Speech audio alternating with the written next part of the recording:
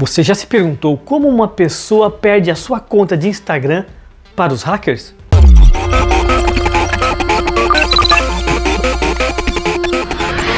Meu nome é Wanderson Castilho, sou perito em crimes digitais e o vídeo de hoje nós vamos falar sobre como as pessoas deixam as suas contas serem invadidas, contas do Instagram serem invadidas pelos hackers. Eu vou explicar a metodologia do crime aqui para vocês e ela é muito simples, chega a ser até inocente. Mas sem o conhecimento, sem a informação, um monte de vítimas acabam caindo neste golpe simples. E tudo começa assim: alguém entra em contato com você. Pode ser uma pessoa que você não conheça, como por exemplo um restaurante que você segue e aí ele entra em contato dizendo: Olha, você que segue a gente aqui, você ganhou uma promoção e está aqui um código e você vai ter um jantar junto com o seu esposo, seu namorado, totalmente de graça. Só basta me enviar este código que eu passei para você. E na verdade, é o código de recuperação da sua própria conta do Instagram. A pessoa não percebe. Isso acontece também com o WhatsApp, tá? É muito comum usar isso aqui. Outro ponto. Um amigo seu entra em contato com você dizendo: Olha, eu estou tendo problema em acessar a tua conta, também estou tendo algum problema com a minha conta também. Olha, me ajuda aqui. Você recebeu um código aí? Passa esse código para mim. Ou recebeu esse link? Copia esse link e passa esse link. Tudo isso, na verdade, é uma mensagem enviada pelo próprio Instagram que o hacker pediu para recuperar a sua senha. A pessoa copia aquele link e manda para o hacker. Na verdade, está mandando a forma de recuperar, fazer uma nova senha da sua própria conta.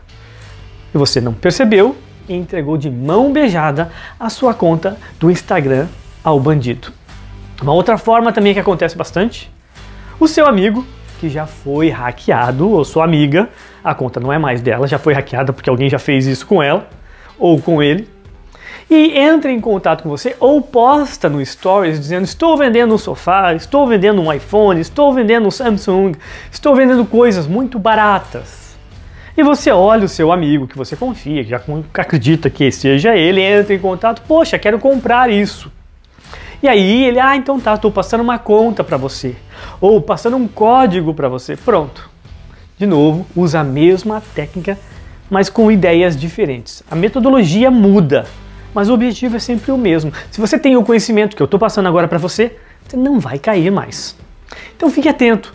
O mesmo, essas compras, cuidado dos seus amigos que estão vendendo coisas e na verdade a conta dele tinha sido invadida e você transfere o dinheiro e está transferindo o dinheiro para o bandido.